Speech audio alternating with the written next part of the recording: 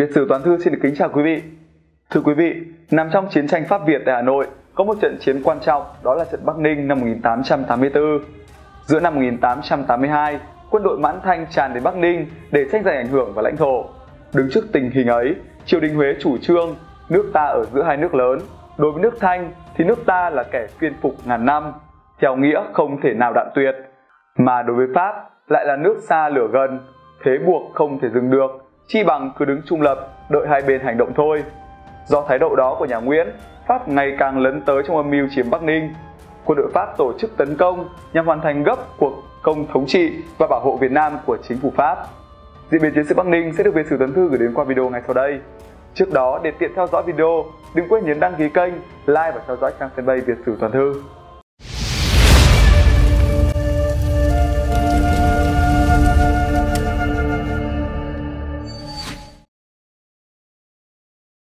Về địa danh Bắc Ninh và thành Bắc Ninh, tỉnh Bắc Ninh là cửa ngõ của cố đô Thanh Long, là vùng đất trung chuyển giữa kinh đô xưa với miền địa đầu giáp với Trung Quốc. Do có đường quốc lộ lên Ải Bắc chạy qua nên vị trí quân sự của Bắc Ninh cực kỳ hệ trọng. Năm 1831, trấn Bắc Ninh đổi thành tỉnh Bắc Ninh. Khi đó, đây là một tỉnh rất lớn bao gồm toàn bộ Bắc Ninh hiện nay, gần hết Bắc Giang, một phần Hà Nội, một phần Vĩnh Phúc và một ít của Lạng Sơn, chia thành 20 huyện, Đông Ngàn, Tiên Du, Yên Phong, Quế Dương, Võ Giàng, Siêu Loại, Gia Bình, Lan Tài, Văn Giang, Gia Lâm, Thiên Phúc, Hiệp Hòa, Kim Anh, Phượng Nhãn, Bảo Lộc, Lục Ngạn, Yên Thế, Hữu Lũng, Yên Dũng, Việt Yên. Ngay từ cuối thế kỷ 17, các giáo sĩ phương Tây đã xâm nhập và coi Bắc Ninh là địa phận đầu mối của công cuộc truyền giáo ở miền đông xứ Bắc Kỳ. Tháng 8 năm 1872, Trin Dubius đã ngược sông cầu đến với vùng đáp cầu Thổ Hà để khẳng định con đường thuận lợi từ biển thông với con sông Hồng. Hai tháng sau, đại tá Sines cũng đi theo dòng sông Đuống vào Bắc Ninh. Giữa năm 1882, viên lãnh sự Pháp ở Hà Nội và viên trưởng lý Almonte đã tới Bắc Ninh để chuẩn bị cho những kế hoạch quân sự ở Bắc Kỳ và đưa ra nhận xét thành Bắc Ninh không quan trọng về mặt buôn bán, nhưng đó là một địa điểm được lựa chọn tốt chi phối các con đường Thái Nguyên, Lạng Sơn và Hải Dương. Trấn lỵ của trấn Bắc Ninh trước kia ở xã Đắp Cầu thuộc huyện Phỏ Giang. Tháng 2 năm Giáp Tý năm 1804, vua Gia Long cho giờ trấn lỵ cũ đến xã Lỗi Đình thuộc huyện Tiên Du. Lúc đầu thành Bắc Ninh chỉ được cấp bằng đất, cho tới năm Minh Mạng thứ 6, tức năm 1825, thành được xây lại bằng đá ông và cuối cùng xây lại bằng gạch vào thời Thiệu Trị năm 1841. Thành xây tại chỗ giáp giới và ba xã thuộc ba huyện là Đỗ Xá, huyện Võ Giàng, Khúc Toại, huyện Yên Phong và Lỗi Đình, huyện Tiên Du. Thành Bắc Ninh được xây dựng theo đồ án hình sáu cạnh, theo hệ đo lường của Việt Nam. Thì thành có chu vi 532 trượng 3 thước 2 tấc, tường gạch cao 9 thước. Xung quanh có hào rộng 4 trượng sâu 5 thước, thành có 4 cửa, mỗi cửa đều có cầu đi qua hào, ở sau góc thành đều có pháo đài nhô ra ngoài. Theo kiểu dáng, điển hình phao ban, đây rõ ràng là một thành lớn sau thành Hà Nội, chứng tỏ sự quan tâm nhiều của Triều Nguyễn đối với tầm quan trọng mọi mặt của đất Bắc Ninh. Lực lượng hai bên trước trận chiến, Thành Bắc Ninh là một căn cứ tập trung khá đông quân đội Việt và quân đội Thanh. Tổng chỉ huy quân Thanh là Từ Diên Húc, Tổng đốc Quảng Tây. Do già yếu nên Từ Diên Húc đóng ở Lạng Sơn, giao quyền chỉ huy quân Thanh cho các thủ tướng của mình là Hoàng Quế Lan và Triệu Ốc. Hai tướng Hoàng và Triệu là các tướng dày dặn kinh nghiệm của các đạo quân An Huy và Hồ Nam, nhưng lại kinh địch và không phối hợp với nhau. Tổng số quân Thanh lên đến 20.000 quân, nửa đóng dọc đường Cái Quan về hướng Tây Nam thành Bắc Ninh, nửa còn lại đóng ở phía đông trên Bình Nguyên, Trung Sơn và Đáp Cầu, phòng ngự hướng Nam và nhìn ra bến sông đi Thái Nguyên và Lạng Sơn tại Phú Cẩm và Đáp Cầu. Trước thất bại vừa rồi trong trận thành Sơn Tây, Tổng đốc Bắc Ninh là Trương Quang Đảng nao núng, nên ông cho rút quân ra khỏi thành về đóng ở huyện Tiên Du. Cho nên lúc bấy giờ ở ngoài phi thành chỉ có tướng nhà Thanh là Triệu Ốc, trấn giữ. Ở trong thành chỉ có bố chính Nguyễn Tu án sát Nguyễn Ngọc Trân cùng với 10.000 quân Thanh do thống lĩnh Hoàng Quế Lan chỉ huy. Phía quân Pháp có cả thảy 16.300 quân, 55 khẩu đại bác và 6 tàu chiến. Đặc biệt là lần này có thêm một công cụ mới để điều tra quan sát trận địa, đó chính là chiếc khí cầu. Lực lượng quân phiển chinh Pháp tập trung cho trận này là lực lượng lớn nhất kể từ trước đến nay trong chiến dịch Bắc Kỳ. Sau khi để lại một lực lượng đồn trú, tướng Millot giao cho mỗi lữ đoàn trưởng của mình hai trung đoàn, mỗi trung đoàn bao gồm 3 tiểu đoàn bộ binh. Theo nguyên tắc, ông không được thành lập các tiểu đoàn hỗn hợp, lính hải quân đánh bộ, lính Bắc Phi và lính nội địa Pháp nên ông phải thành lập một trung đoàn lính hải quân đánh bộ, hai trung đoàn Bắc Phi và một trung đoàn Pháp. Một trong Trung đoàn lính Bắc Phi bao gồm 3 tiểu đoàn lính bộ binh người Algeria, trong khi trung đoàn kia gồm các đơn vị lính người Âu thuộc quân Lê Dương và bộ binh nhẹ châu Phi. Bốn trung đoàn này được chỉ huy bởi các trung tướng Lieutenant Colonels Bertas, Levillan, Berlin, Dusters và Defoy. Ngoài ra, ở mỗi tiểu đoàn đều có lính thủy vũ trang được chỉ huy bởi các thuyền trưởng Lagory và de Pillman. Diễn biến trước trận đánh của Pháp và Bắc Ninh Ngày 16 tháng 12 năm 1883, quân Pháp đánh chiếm được thành Sơn Tây. Hai ngày sau, 18 tháng 12 ở Paris, nghị viện Pháp đã phấn khởi gửi thêm 7.000 quân, cấp 17 triệu quan và còn cho vay thêm 3 triệu nữa để hoàn thành gấp công cuộc thống trị và bảo hộ ở Việt Nam. Giữa năm 1882, quân đội Mãn Thanh cũng tràn đến Bắc Kinh để tranh giành ảnh hưởng và lãnh thổ. Đứng trước tình hình ấy, triều đình Huế chủ trương nước ta ở giữa hai nước lớn, đối với nước Thanh thì nước ta là kẻ phiên phục ngàn năm. Theo nghĩa không thể nào đoạn tuyệt, mà đối với Pháp lại là nước xa lửa gần, thấy buộc không thể dừng được, chi bằng cứ đứng trung lập đợi hai bên hành động thôi. Do đó thái độ của nhà Nguyễn Pháp ngày càng lớn tới trong âm mưu chiếm Bắc Ninh. Giữa Pháp và Trung Hoa xảy ra việc triều đình nên mặc dù vẫn gửi viện binh nhưng chính phủ Pháp đã chỉ thị cho tổng tư lệnh ở Bắc Kỳ là chỉ được đánh chiếm thêm Bắc Ninh và Hưng Hóa mà thôi. Vì nếu đánh lên nữa sẽ đụng độ với quân Thanh, không có lợi cho việc nghị hòa trên. Đề phòng xa sự quá tận tâm và hăng hái của tướng Quốc B ngày 16 tháng Giêng năm Giáp Thân năm 1884, chính phủ Pháp cử thống tướng Jacques Milot sang thay, còn tướng Quốc B được tăng lên trung tướng. Lo cơ quản hải quân để phòng giữ mặt biển, cùng đây theo tướng Jacques Milot là hai tướng Louis Pierre de Isler và François de Niger và ba sĩ quan cấp tá. Ngày 12 tháng 2 năm 1884, tất cả viện binh từ quân cảng Toulon Pháp đã tới Bắc Kỳ, nắm được hướng phòng thủ của quân đội triều đình và quân Mãn Thanh, chủ yếu trên con đường từ Hà Nội đi Bắc Ninh chạy qua gần phủ Từ Sơn. Trung tướng Milot đã huy động một lực lượng bao gồm 16.300 quân viên chế thành hai lữ đoàn cơ động, những đơn vị đồng trú và trợ chiến. Một lữ đoàn ở bên hữu ngạn sông Hồng thì đóng ở Hà Nội do thiếu tướng Pierre de Isler chỉ huy, một lữ đoàn ở bên tả ngạn sông Hồng thì đóng ở Hải Dương do thiếu tướng de Niger quản lý. Millard đã quyết định kế hoạch đánh chiếm Bắc Ninh như sau. Lữ đoàn 1 xuất phát từ Hà Nội dựa vào hệ thống đồn lũy do Quốc B xây dựng từ tháng 11 năm 1883. Lữ đoàn 2 xuất phát từ Hải Dương, nơi sẽ được Hải phòng tiếp tế dễ dàng trong vòng 8 giờ bằng pháo hạm và thuyền. Ngày 20 tháng 2 năm 1884, Pháp cho quân đánh lấy phả lại, nơi mà sông Cầu, sông Đuống và sông Lục Nam hội tụ nhau. Thấy phía đông của mình bị uy hiếp, quân Thanh ở Bắc Ninh cố ra sức phản công liên tiếp trong hai tuần, nhưng vẫn không lấy lại được vị trí sung yếu này. Nhằm thực hiện triệt để chủ trương mà Colbert đã vạch ra, đánh chiếm lại phả lại chỉ là giai đoạn mở đầu cho cuộc hành quân rộng lớn sau này. Tướng Nelcher đã dùng pháo thuyền thám thính sông Đuống, sông Thương tới ngã ba Phượng Nhờn, sông Cầu tới sát chân núi Nham Biên Đầu tháng 3 năm 1884, sau khi giao việc phòng giữ và cai trị các tỉnh thành đã chiếm được cho đoàn Khâm Sai do đoàn Văn Hội cầm đầu, tướng Charles Miller lại tiếp tục cuộc đánh chiếm và mục tiêu lần này là thành Bắc Ninh. Phương án tác chiến đã được Miller duyệt y là giải quyết hoàn toàn hệ thống bố phòng ở núi Va, núi Đạm và núi Rùa, phá vỡ tuyến phòng thủ chân Vầu, Yên Định và Đạo Chân.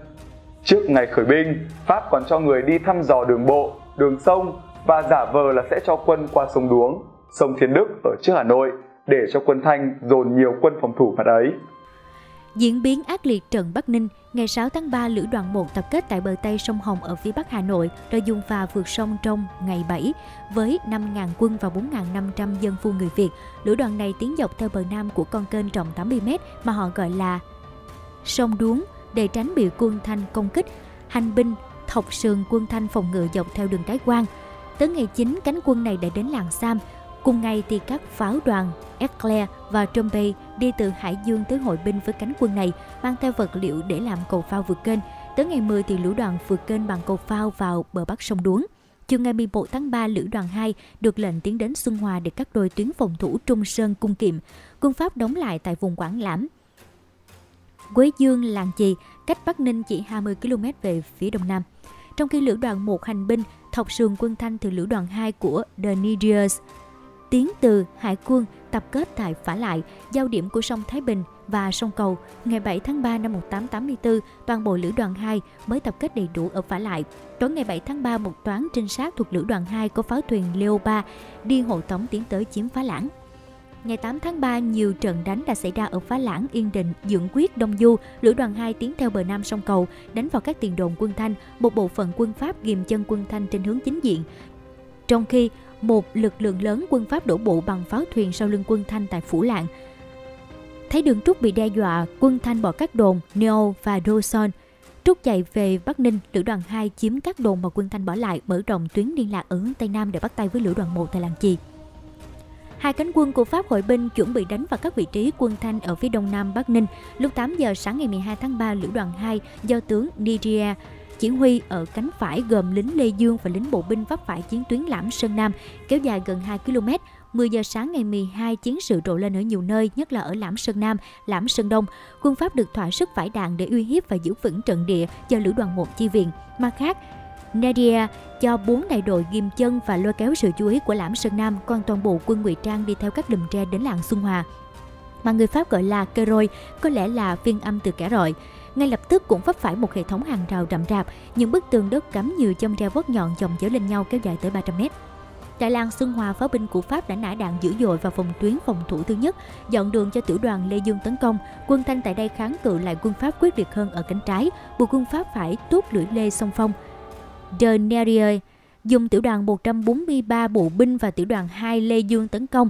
Quân Pháp được lệnh không được bắn cho tới khi họ chỉ còn cách vị trí quân địch không quá 250 mét và hai tiểu đoàn quân Pháp lội qua ruộng lúa ngập nước tới tận thắt lưng dưới làn đạn quân Thanh cho tới khi khoảng cách đã định. Quân Pháp đồng loạt nổ súng và loạt đạn của quân Pháp áp đảo, hỏa lực quân Thanh bắn ra. Thiếu tá Dustres, người sau này sẽ chinh phục Madagascar, dẫn quân xung phong đánh vào các vị trí quân Thanh. Sau một cuộc sáp chiến ngắn, thì quân Thanh rút chạy hỗn loạn. Trong khi đó, tại cánh trái, lính Bắc Phi của Gordon và lính hải quân bộ chiến của Coronat thuộc lữ đoàn 1 của Pierre de Isclair đánh vào quân Thanh tại làng Trung Sơn. Từ trên kinh khí cầu Cavalier, thông báo tình hình chiến sự cho lữ đoàn 1, tướng Pierre de Isclair cho nạp pháo về phía núi Con Rùa, lãnh Sơn Nam và đưa toàn bộ 8.500 quân về hướng ấy. Quân Thanh kháng cự yếu ớt, tháo chạy khỏi các vị trí phòng thủ của mình trước khi quân Pháp đánh tới nơi. Tướng Mãn Thanh Hoàng Quế Lan cùng với quân đội rút bỏ phòng tuyến. Như vậy, tới trưa ngày 12 tháng 3, quân Pháp chiếm được các điểm cao, tập trung pháo binh bắn vào quả cảm và xung quanh thành Bắc Ninh. Trên sông cầu, các pháo thuyền vấp phải lũy bường mới chỉ phá được những mảng tường đầu tiên. Lũy bường gồm một loạt các lũy nhỏ áp sát bên tả ngạn sông cầu đối diện với Xuân Hòa. Ở đó bố trí nhiều dàn pháo để chặn tàu tiến ngược theo sông cầu. Trong bộ binh của đờ Niger còn đang đánh tại Cairo Xuân Hòa thì các pháo thuyền của The Bowman đã vượt qua bãi cột ngăn sông tại Lũy Bường rồi ngược dòng tiến về đáp cầu và Phú Cẩm. Tới 16 giờ thì bộ binh của lữ đoàn 2 và số lính hải quân vũ trang trên các thuyền Hội binh tại đáp cầu phía đông thành Bắc Ninh, đơn Didier hạ lệnh cho tiểu đoàn Lê Dương số 2 đánh vào đồn quân Thanh tại đáp cầu, nhưng lính thủy của De Bowman nhanh chân hơn đã đến chiếm đồn trước. Hai lữ đoàn phương Pháp cho đặt tất cả các đại bác trên đồi cao chung quanh mục tiêu, rồi nhất loạt bắn dữ dội vào phía trong thành. Quân Thanh hoảng loạn, mất tinh thần khi thấy quân Pháp chiếm được cao điểm đáp cầu. Đường rút đua của quân Thanh về Lạng Sơn bị uy hiếp. Các đồn kêu rôi, lạng bưởi và đáp cầu bị đánh hạ nhanh chóng, đồng thời pháo binh Pháp bắn rất nhanh, rất chính xác các vị trí quân Thanh. Quân Thanh chỉ giờ chỉ lo tháo chạy thoát thân về Lạng Sơn trước khi quân Pháp cắt đường rút lui. Tuyến phòng ngự của quân Thanh trên hướng lữ đoàn 2 sụp đổ. Cùng lúc cuộc rút chạy hỗn loạn của quân Quảng Tây trên cánh trái cũng đặt cánh phải quân Thanh ở phía nam Bắc Ninh vào tình thế hiểm nghèo. Cánh quân này vốn đã bị Pierre de Israel đánh một đòn đâu, nay càng mất tinh thần. Các tướng Thanh chỉ huy cánh phải thấy mặt trận tan vỡ cánh trái và bản thân họ cũng phải đối diện với nguy cơ bị bao vây nếu họ tiếp tục ở lại vị trí của mình lâu hơn. Quân Thanh ngay lập tức nhổ trại chạy về Bắc Ninh. Tới 17 giờ quân Pháp tại đồn đáp cầu Thấy cờ quân Thanh còn bay trên cột cờ Bắc Giác thành Bắc Ninh, nhưng khoảng cách giữa thành Bắc Ninh với đáp cầu và Trung Sơn đông ngàn, quân Thanh bỏ chạy hoảng loạn. Quân Thanh vượt qua sông cầu chạy rút về Thái Nguyên tối hôm ấy, 17 giờ 50 phút quân Pháp chiếm được thành Bắc Ninh. Lưu Vĩnh Phúc hay tin mang quân qua ứng cứu nhưng vừa đến nơi thì thành Bắc Ninh vừa mất nên về lại Hưng Hóa. Trước khi đó thì Trương Quang Đảng đóng quân ở Tiên Du phần án binh bất động. Rồi đến khi thành mất ông Toan kéo quân về đóng nhưng Pháp không cho nên đành cắm trại ở huyện An Phong. Sau sân Tây Bắc Ninh, quân Pháp sẽ lần lượt đánh chiếm Thái Nguyên, Hưng Hóa và Tuyên Quang. Để rồi từ những thắng lợi này ngày 6 tháng 6 năm 1884, chính phủ Pháp đã ép triều đình Huế ký thêm hiệp ước Paternotte bao gồm 19 khoản đặt cơ sở cho quyền đô hộ của Pháp tại Việt Nam. Trước khi Pháp chiếm tỉnh lỵ của Bắc Ninh mới chỉ là một dãy phố trải dọc theo con đường trạm đá khoảng 1.500 m, chủ yếu là hơn 1.500 người Hoa trú ngụ, còn quan lại và chính quyền đóng trong thành. Năm 1892, 8 năm sau khi Pháp chiếm Bắc Ninh, nhà thờ lớn của tòa giám mục dòng Dominican được xây dựng ở Bắc Ninh, kiến trúc đẹp và hoành tráng vẫn còn giữ đến ngày nay. Tòa giám mục này cai quản các địa phận Thiên Chúa giáo của một vùng Bắc Ninh, Bắc Giang, Thái Nguyên, Vĩnh Yên, Phúc Yên và một phần của Hải Dương, Phú Thọ. Kết thúc trận đánh theo Thomasy năm 1934 thì con số thiệt hại đôi bên như sau. Bên quân Thanh 100 chết và 400 bị thương, bên quân Pháp 9 chết và 39 bị thương. Nhưng theo Trần Trọng Kim thì quân Pháp có 8 người chết và 40 bị thương. Phạm Văn Sơn trong việc sử Tân Biên ghi tương tự nhưng còn biết thêm là trên đường tháo chạy về Thái Nguyên, vì Pháp đã cho chặn đường về Lạng Sơn, quân Thanh đã bỏ lại nhiều súng ống đạn dược và hàng trăm khẩu đại bác. Thưa quý vị, thành Bắc Ninh nằm ở giữa cánh đồng, chung quanh có một đồi núi không cao không thấp. Ở những nơi ấy đều có đồn canh phòng, nhưng được trang bị rất sơ sài. Giáo sư Trần Văn Dầu kể lại, có lần tướng Lưu Vĩnh Phúc đến thành Bắc Ninh, thấy tướng Hoàng Quế Lan ngày đêm vui chơi như cảnh Thái Bình, không để gì cả, thì khuyên nên lo việc phòng thủ ở các cao điểm nhưng ông tướng này sau đó vẫn cứ lơ là. Còn tướng Sầm Dục Anh từ Vân Nam được lệnh kéo xuống Hưng Hóa để hỗ trợ tướng Hoàng Kế Lan giữ thành Bắc Ninh. Nhưng khi thành bị quân Pháp tấn công, Sầm Dục Anh vẫn nằm yên không đến cứu. Giáo sư giàu nhận xét, các ông tướng nhà Thanh không kém các ông tướng của triều đình Huế về cái tật địa phương chủ nghĩa.